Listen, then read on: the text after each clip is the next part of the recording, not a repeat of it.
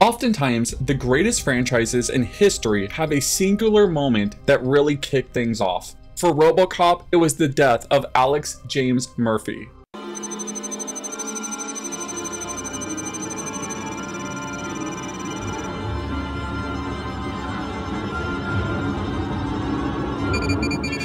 For Terminator, it was Judgment Day.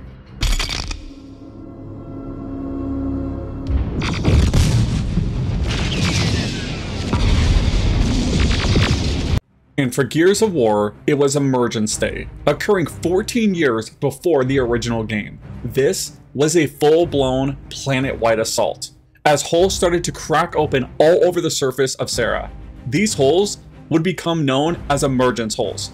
They surrounded almost every major city on the planet, as locust monsters started to crawl their way out from under the surface and attack any human with extreme prejudice. There was no discrimination between race, gender, or age. The Locust brutally slaughtered any man, woman, or child that was in their path. For a time, the humans of Sera knew the illusion of peace. Until... Emergence Day. The reports of casualties was massive. Within the first day, over a quarter of the planet's population was completely wiped out. And to make matters worse, E-Day happened just weeks after the events of the Pendulum Wars. So humanity was already in a weakened state.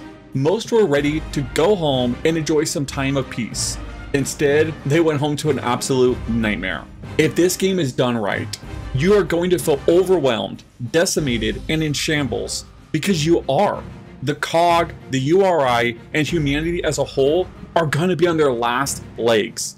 Instead of humanity enjoying a time of peace and having time to rebuild their family and lives, what they got instead was something more terrifying than the Pendulum Wars, and something much more nightmarish than they ever thought was imaginable.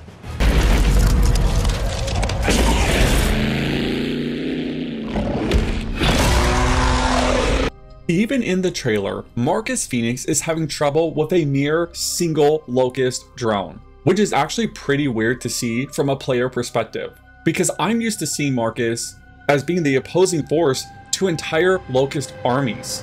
He was basically the Doomslayer in the Gears franchise. Hell, by Gears 3, he was an unstoppable killing machine.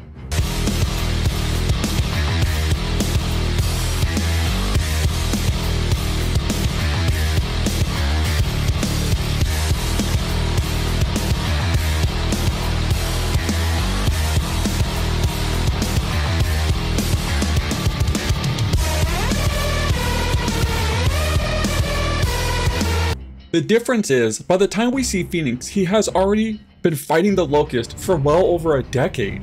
In this game, he's not going to be a seasoned monster killer. Instead, he's going to be confused and in shock of what the hell is actually happening. In my opinion, going in this direction is amazing. It's going to open the door for so many great opportunities.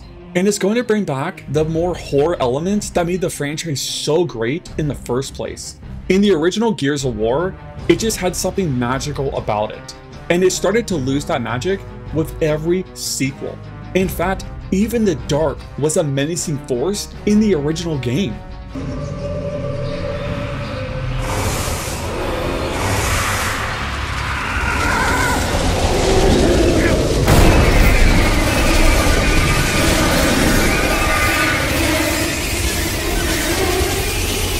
The devs have promised to bring the series back to the franchise roots.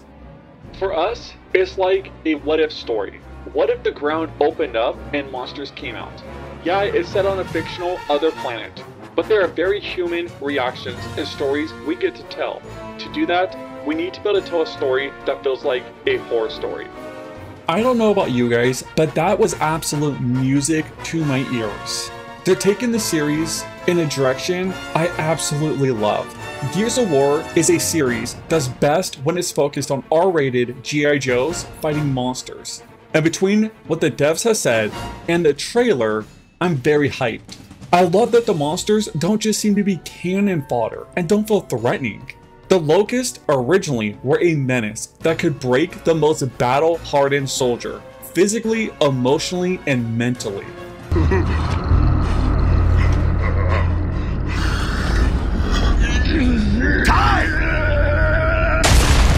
No!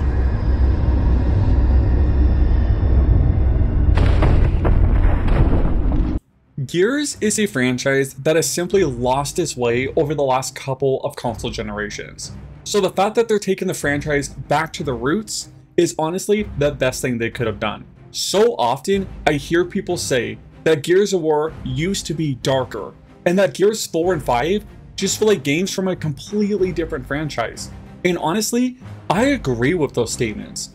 Gears of War used to be just a different beast altogether. Hell, within minutes of the original game, you saw skinned bodies hanging from the ceiling.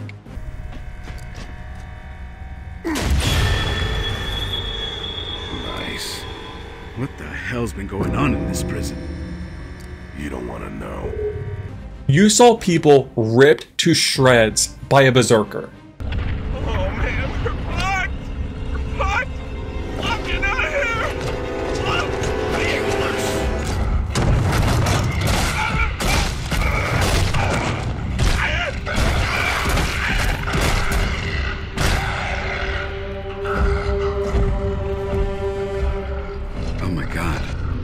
Or how about when you entered a room completely covered in blood as you walked into the aftermath of a massacre from the wretches?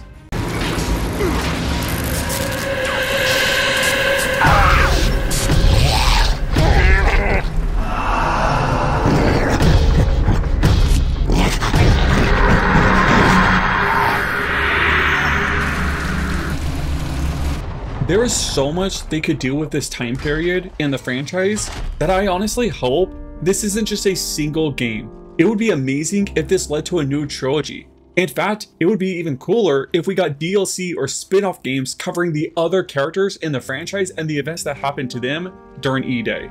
But let me know what you all think about this new announcement and about Gears of War returning to its roots down in the comments below. By the way, if you made it this far and did enjoy the video, let me know by dropping a like. And if you are new, please consider subscribing. As for me, I got a ton of work to do, so I'm to get back to the grind and I'll catch you in the next one. Peace.